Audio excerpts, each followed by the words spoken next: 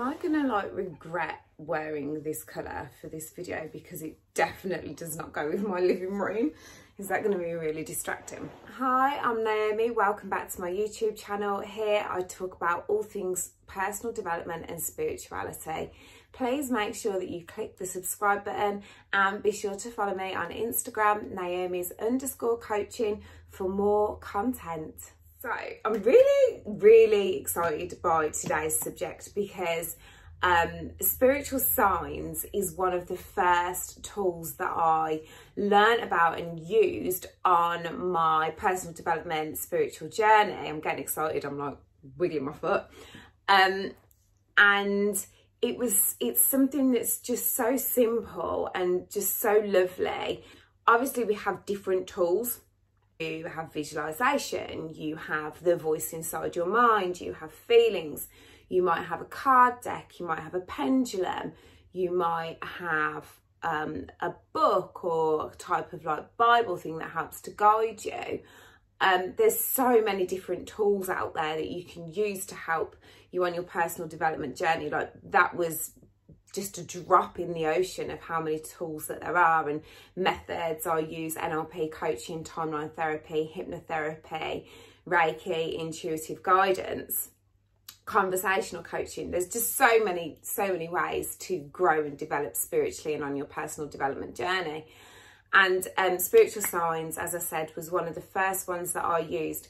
And I initially used it when I was probably going through one of the toughest times of my life and um, yeah, so I'm going to share what a spiritual sign is. So spiritual signs, now these can be anything. And as I say, it is simply a tool. The sign itself is not magic. So in the past, people had like um, horseshoes, right? And like lucky rabbit's feet.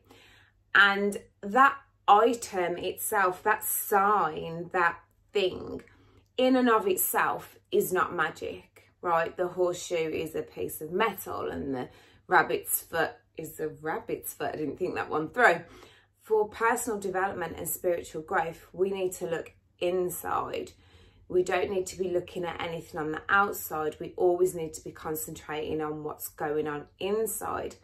So the magic there lies in what those items, what that sign represents and means for you inside.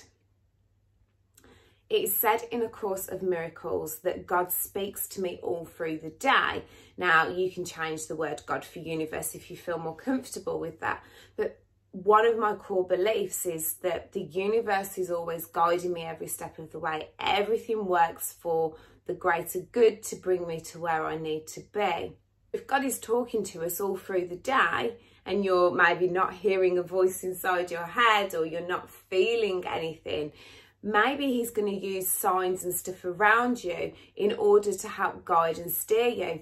And as human beings, we live under the law of free will. So we have free will about what guidance we want, if you like, whether we want a higher power to step in and help guide us, that's our choice. So the first thing that I think is important to do, unless it's just happened naturally, is to ask for a spiritual sign. And one of the questions I get asked all the time is, well, how, how do I know what my spiritual sign is? How do I find it out? Well, you ask and then you wait and see what happens. I'll give you my own personal experience. I kept seeing ladybugs everywhere, right? And wrong time of year for them, kept seeing them everywhere. So what I eventually did was looked up the meaning of ladybird. And when I looked it up, and when I say look it up, I simply mean Google search spiritual meaning of ladybird, or they're sometimes called totems. So I looked it up and it was all about lady luck, guiding me, female empowerment or feminine empowerment. And at the time of the struggle I was going through, this is exactly what I needed. If you are open to start receiving guidance, then simply ask for it and then watch what comes up. And it will normally be something that just catches your attention is undeniably something that you need to look into. And when we've asked and maybe sometimes we don't listen, quite often the, the message will keep being repeated through to us somewhere. Now, these spiritual signs can come in many different forms, and I know a lot of people are very familiar with a white feather, especially in connection to someone who might have passed away and be um, living their next adventure now. I know another spiritual sign is a, for a lot of people is a butterfly. Um, angelic numbers that seem to come up, number sequences seems to be another popular one. So 1111 or 111. If you are somebody that is seeing these signs a lot of the time, go go within, you know, don't just stop at, oh, I've had a sign. It's it's a signpost to you to go within and to apply your own meaning to that and what it represents. So like my sister-in-law um, is just doing her midwifery qualification and her nan has given her like, you know, the old nurses watches um, as like a congratulations and also for her to use it when she starts going onto the wards. And, you know, that in and of itself is a sign, you know, we all recognise the symbol of that and what it means to be a midwife and what it means to be a nurse and this nurturing person that's there caring for people in some of their most desperate times. And so for my sister-in-law as well, not only is this something that's going to help her, but that object, it carries meaning, it has sentimental value because her nan's given it to her and it's a symbol of congratulations and recognition of hard work and and all those lovely things that she will now apply the meaning to every time she uses that watch. And I dare say years and years and years and years and years from now, when she retires from midwifery, that that clock will still have that sentimental meaning for her. I had to stop the video there because my loud, um, annoying amazing, gorgeous, wonderful other half came home like a herd of elephants through the front door. I wonder if that is a sign. Um, so where might we see these signs? Well, as I said, A Course in Miracles states that God speaks to me all through the day. So it's really up to you to take your own meaning, your own internal meaning from what you might be seeing around you other times I've had, um, so the ladybird for me is probably my, my first one, my core one. It's one that comes up. And guys, it never, ever fails me. I have seen ladybirds on signs, on pictures, on cushions, on bags.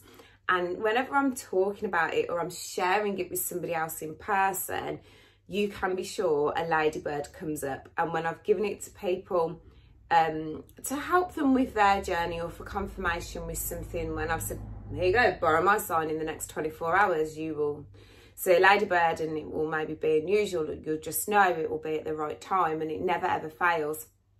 So other things that have happened for me are um, lines in a film, like just that, you know, that one profound one liner that just drops right into your soul and really means something to you or you might see an animal or something in a film.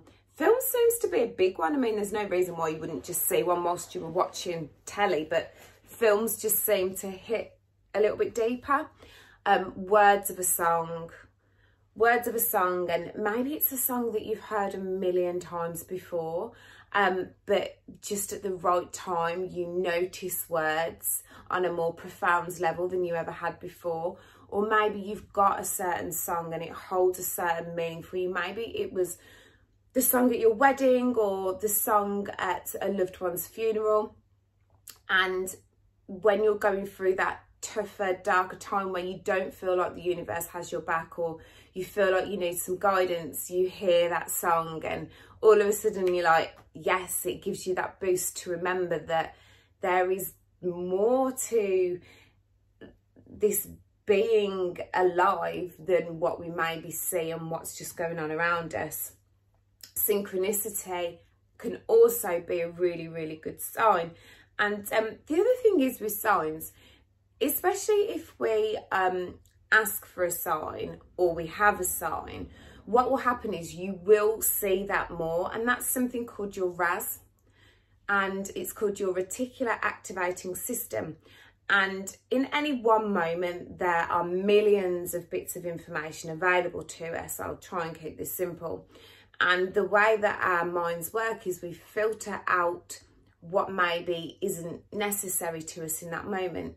But when we tell our mind what we maybe want to focus on and look for, we'll find that it pops up everywhere because we're our mind is unconsciously looking for evidence of that wherever we go.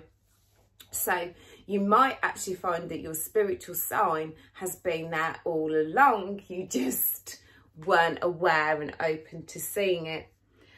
Um, I've got some notes down here, so I keep glancing down. Um, it might be a sign from your inner voice. So the other day I was watching um, a video about a book that I'm reading and the video caught my attention because it was directly talking about something I was going through at the time and I just had this the, the woman was trying to search for the page like live as she was doing this live video and I just I inwardly went I know what page that is and I went straight there and I was correct. It was the page that she was on about. And I'm talking about a big, thick book, right? Like probably bigger than something like the Bible or around about the same size.